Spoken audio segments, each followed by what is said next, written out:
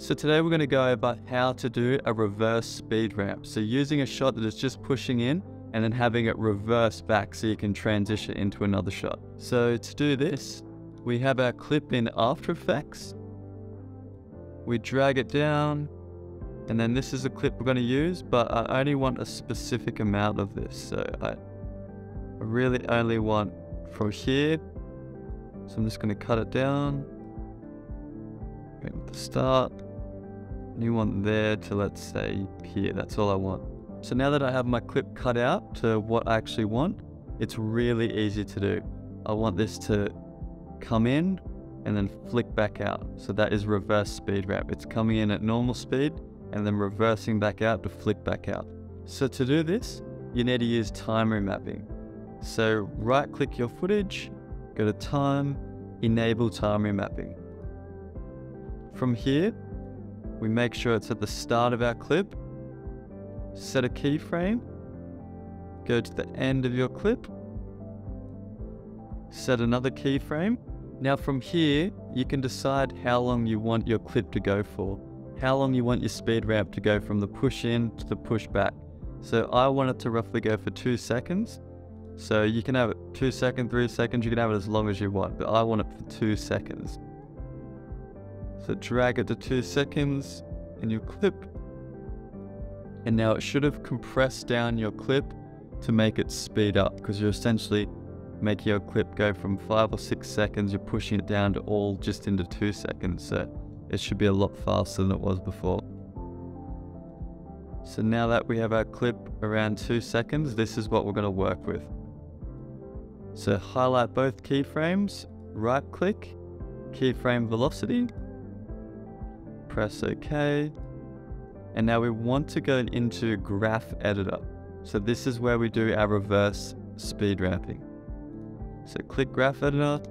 I'm just going to zoom in by pressing plus.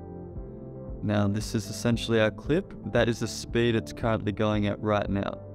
So it's going in an upwards motion, which is showing that it's actually in normal speed and it's not in reverse. It's just going up.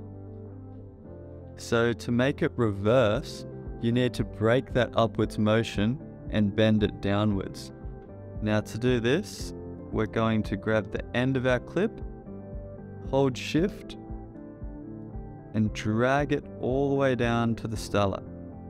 So roughly where your other keyframe is.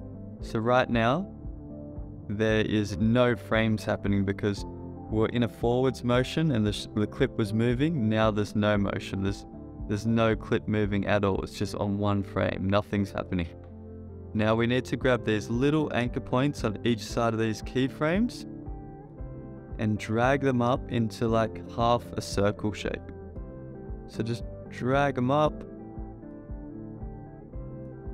Right. So essentially how to explain what these curves are doing is the steeper the curve, the faster the speed is of your clip. So it's essentially sped up and then as it starts to arc over and kind of go flatter, the clip is slowing down. So it goes from fast to slow. And then once it hits this middle position, it's essentially going down slope now. And then as it slopes past the point of 180 degrees, it goes into negative, which is reverse. So we essentially have our clip going normal, hits here, goes into negative, and now it's in reverse. So it's going slow in reverse, and it speeds up more and more as the slope gets steeper and steeper. So that is essentially how you do a reverse speed ramp. If you notice your clip doesn't have as much footage as you as you wanted, and you wanted actually more of your clip in the start and the end, all you have to do is essentially put this current time indicator in the middle to indicate where, how much footage you're using and just pull this up on both sides and create that rough circle shape again. So the more you pull up, the more footage you're going to use. So now we're using a lot more footage. So we'll just play that. Heaps more footage. Now if that was too much footage and I didn't want that much of my footage to be used, we just bring these down.